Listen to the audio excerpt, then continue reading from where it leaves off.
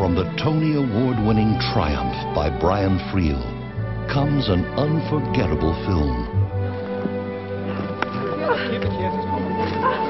Am I home? You're home, Jack. He's an old man, Mary.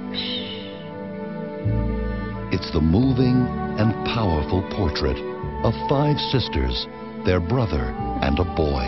Where is Michael's father? He's not here. They're not married. I'm glad you have a child conceived in love, Agnes. He's not mine. He's Christina's. You all love him. He belongs to all of you. A family struggling with life. Haven't you noticed the numbers in the school are falling? To be honest, Father, I haven't. I might need to let a teacher go.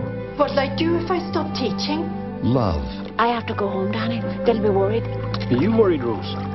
Danny Bradley wants to marry me. Danny Bradley can't marry a Rose. He's married already. But he loves me. And a quest for freedom. What brings you to these parts now? To say goodbye. Don't go, Daddy. I'm a soldier now, Michael.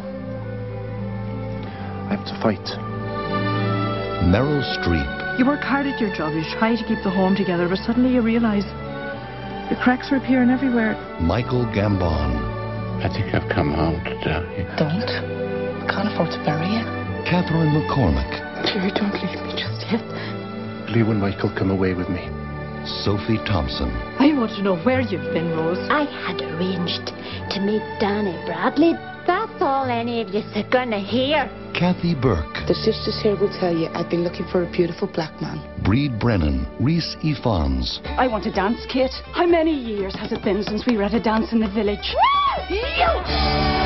Discover the extraordinary film that captures the joy, the passion, and the triumph that lives in the spirit of a people.